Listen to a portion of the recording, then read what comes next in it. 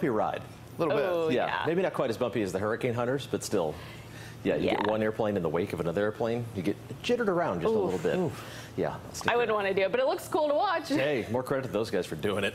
Let's take a look at what's happening out there so far this morning. We're going to start with a look at the tropics with a little disturbance that's way out there in the Atlantic Ocean. Hasn't even made its way towards the Caribbean just yet. And the National Hurricane Center estimates this thing has only a 20% chance of actually developing into even a tropical depression as it crosses over the Antilles and heads into the Caribbean. We'll keep an eye on it, but it looks like the conditions are going to be even more unfavorable for development once it does actually make its way into the Caribbean. Calm conditions out there so far this morning. It's just very warm. 74 degrees the temperature right now in Chapel Hill from Kenan Memorial Stadium. Right now on campus at NC State, eh, you're a degree cooler, 73, but that's still above average even for an August morning. And temperatures everywhere almost everywhere are running in the low to mid 70s. 68 degrees in Roxboro, you're the cool spot, but you started off in the low 60s the past couple mornings, so you're substantially warmer too. 77 degrees right now in Fayetteville and Pinehurst. Those are the warm locations, and there is lots of humidity out there.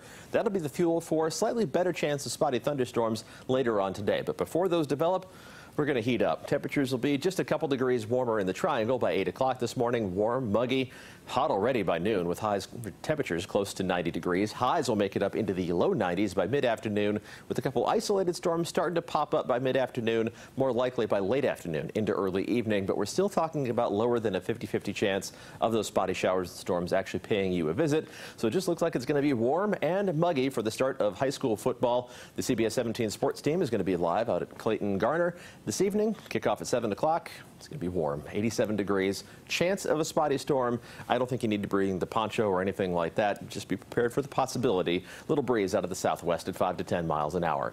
A degree or two warmer farther south today, low to mid 90s towards Fayetteville, the Sand Hills, and the southern coastal plain, and right around 90 degrees as you head northward along I 95, right around 90 for southern Virginia and into the Piedmont as well. An unseasonably hot day even for the middle of August. But again, not much of a storm chance, just a slightly better chance than what we saw yesterday. Futurecast shows a few of those radar freckles showing up by mid-afternoon, but they fade off the map pretty quickly as we head towards this evening and into tonight.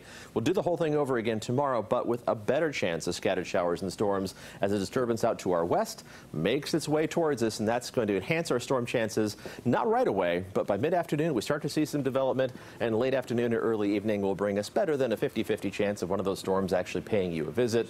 Temperatures will reach up to around 90 degrees before that storm chance develops.